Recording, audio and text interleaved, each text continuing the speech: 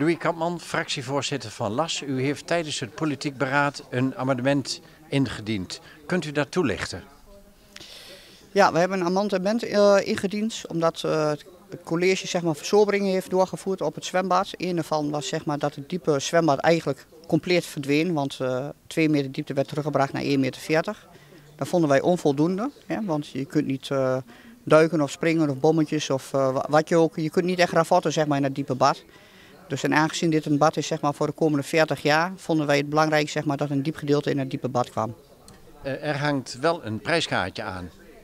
Ja, dat klopt, 40.000 euro. Maar dat stelt eigenlijk niks voor. Dat is eenmalig 40.000 euro op een bedrag van 26 miljoen. Dus uh, dat is eigenlijk nieuw. De klankbordgroep die had andere mensen, die wilden namelijk het buitenbad op 2 meter houden. Wat uh, vindt u van hun uh, stelling? Ja, ik had daar eigenlijk wel. Uh, ik, ik vond eigenlijk dat ze wel echt een goed punt hadden. Maar het probleem was natuurlijk dat ze, de hele configuratie van de buitenbaden was veranderd. Hè. Wel ook in het recreatiebad hebben ze het bad van 1,40 meter teruggebracht naar uh, 90 centimeter. Waardoor het halve diepe eigenlijk verdween. En toen hebben ze van het diepe het halve diepe gemaakt.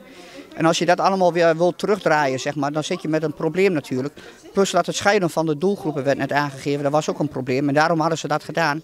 Dus het beste compromis was eigenlijk om zeg maar, het diepe bad zeg maar, op te delen zeg maar, in een diep gedeelte en een uh, half diep gedeelte.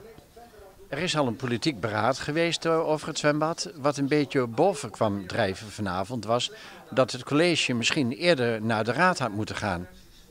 Ja, dat klopt. Dat vinden wij zelf namelijk ook. Ze hebben uh, doorgevoerd. Die verzoberingen stonden al in het raadsvoorstel. En het was beter geweest zeg maar, als ze de opties voor de verzoberingen eerst aan de raad hadden voorgelegd. En dat hebben ze niet gedaan.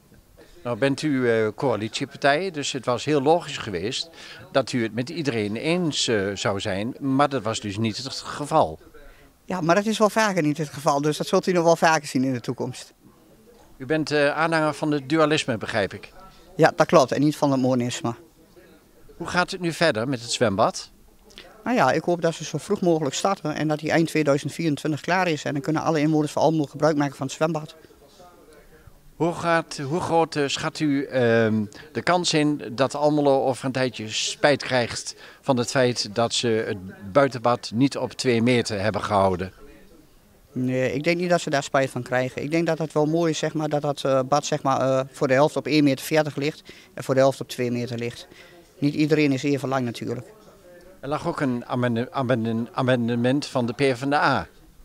Ja, dat klopt. Maar in eerste instantie wouden ze alles terugdraaien, dus uh, de hele verzobering van 1 miljoen. Maar er zitten ook heel veel technische wijzigingen in, zeg maar, wat echt verbeteringen zijn en geld besparen. Dus het is jammer om dat allemaal terug te draaien natuurlijk. Daar zijn wij geen voorstander van. U bent tevreden? Ik ben zeer blij. Ja, dat klopt.